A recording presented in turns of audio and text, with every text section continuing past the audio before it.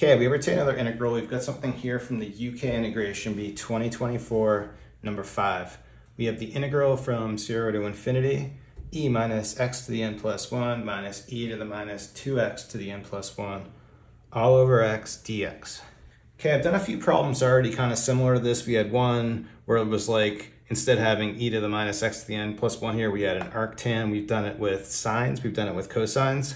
I think this one's probably the most similar to the arctan case. We'll kind of go over some of the details of that at the end. But what I want to do for this is just use Feynman's trick on it. So what I want to do is parameterize this.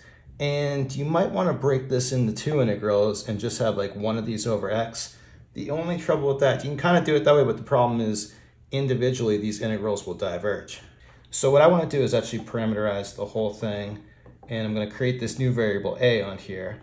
And I'm going to put that parameter on this one here. So how we'll do this, I'll write this as e minus, and then we'll bring in our a to the uh, a times x here. And then for this other one, we'll do something really similar. I'll just do this one. I could just leave it as 2, but let's call our, let's, to try to make it more general, let's kind of create a b variable right here. But this b variable is just going to be a fixed constant, so that way we don't have to worry about the derivative of that, and our function still just in terms of a. And then let's put a couple of conditions on this. I'm going to say my A value needs to be greater than zero and my B value needs to be greater than zero. And next we'll go ahead and we'll differentiate this, but we'll differentiate with respect to A. And we're doing this inside the integral sign. So we can do this as a partial over here, differentiating with respect to A. But when we do that, a couple things are going to happen. So first, the 1 over x here, this is going to be just a constant with respect to a. So I'm just going to bring this all the way over here, which we're not going to need to, that's just a constant with respect to a. And then I also don't need to worry about differentiating this part because this is going to be, again, a constant with respect to a. So the derivative of this is going to be just 0. So what I need to do is we just need to differentiate this part right here. So we're differentiating e minus ax to the n plus 1. So when I do this, let's rewrite.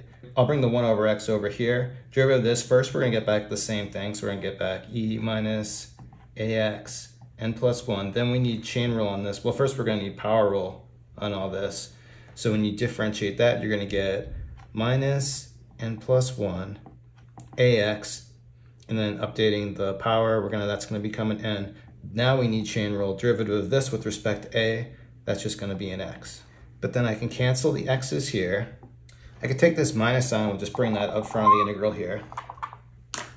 And then with what's left here, this should be an integral we can do, because what I can do on this is we can do just a u substitution on it. If I do my u for just this part right here, we're going to be able to work, we're going to be able to, the derivative that's going to be something like all the stuff we have over here.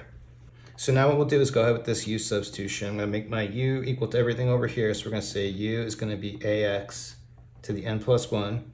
Take a derivative on this. First power rule, we're going to get n plus 1 times a to the x to the n. And then chain rule, but now we're back differentiating with respect to x here. So what's going to happen is we're going to have an a come out dx. Well, then what we have for our du is almost exactly what we have right here. I can just, I'm gonna need this a right here. So let's multiply in an a, but I don't wanna change it. So let's divide by a out front. And then we'll go ahead and substitute this. We have minus one over a in front. When you plug infinity in here, it's still going to infinity. You plug zero in, lower bound's gonna be zero. This here is just gonna become e minus u. Everything over here is du, and so this simplifies really nicely go ahead and integrate this. We have our minus 1 over a in front. Integral here is going to be e minus u, but a minus sign's coming out, so I'll just use it to change this one to a plus, and we just need to evaluate this from 0 to infinity. Plugging in infinity, this part's going to 0, so we have 0 for our first part. Plug in 0, we have e to the 0 is just 1, so this was going to become minus 1 over a. And so for our f prime a value, we're going to have just minus 1 over a. But now at this point, we're gonna wanna get this back to f of a in order to get our goal, which is this thing right here. Just remembering that this thing here is the same thing as f of one, because we've got a one coefficient on the x right there. And this is gonna be true when our b value is two. So we'll say b equals two for our goal. So in order to do this, let's just integrate on both sides here, but integrate with respect to a on this. Well, then this is gonna be easy. We're gonna have here, that's just gonna be minus natural log absolute value a but we have a greater than zero, so let's just drop the absolute value on that. And we have a plus c on it, and this is gonna be our f of a value. But in order to finish this, we're not gonna want this plus c value here. We need some way to deal with that. And what we can do is we can come back to our original integral and we can just notice that when the coefficient's the same, the whole thing's gonna be zero. So in the case where just a equals b, then for our f of a, we can just plug in a b here and see what happens for f of b. Then using this, we have minus natural log, plugging in for a, we're plugging in the b value, plus c, this is gonna need to be zero. And again, when we set this up, we set this up where b is a constant. So for this to be true, we need c to just be equal to natural log of b. So plugging this back in here for our f of a value, what we have is we end up with f of a is going to be minus natural log a plus natural log of b. But with log properties, I can put these two things together and we end up with natural log of b over a.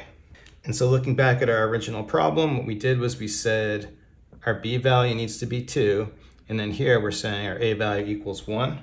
So plugging that back in here, our a value is 1, we have f of 1 is just going to be natural log of b over a, 2 over 1. So for my solution is we just get natural log of 2. And so now the thing to notice about this is this is a good case of Frullani's integral, and you'll kind of notice it right here, because this is going to be basically part of the formula. Let's just look at that formula really quick. Okay, so looking at the formula, notice we got this in exactly the right form. We got the x, we got our, we're saying this part's going to be our f ax, this is going to be our f bx. And then we get that similarity right here with the natural log. Now you notice the difference right here, it's natural log a over b, here it's natural log b over a. Well, you just look what happens when our x values go into infinity. In this case, this is going to be going to zero, so we'd have a zero here. You look at what happens when our x value is zero, e to the zero, this is going to be just one. Zero minus one is just going to be minus one. Bring that in the exponent and you flip this and you get natural log of b over a, which is our solution right here. So actually, if you were in a hurry, you could go right to the formula on this and solve it really quick. The thing to look out for is the problem I mentioned at the beginning of the video, which we've seen before, is if our function is something with sine or cosine. In that type of case, the f affinity is not going to exist because there's no limit of sine of x, say, when x is going to infinity. So that's why for those other ones, we had to do a slight variation, but it actually worked fine for arctan. If we had something with arctan, then like this is pi over 2, and this is 0, and so the formula worked fine in that case. Anyway, there you go. Good one today from UK Integration Bee 2024. Thanks everyone for watching. Have a good day.